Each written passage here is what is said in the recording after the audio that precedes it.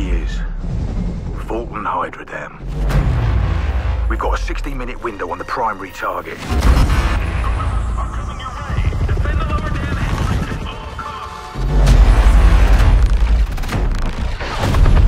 CELL's dividing their forces.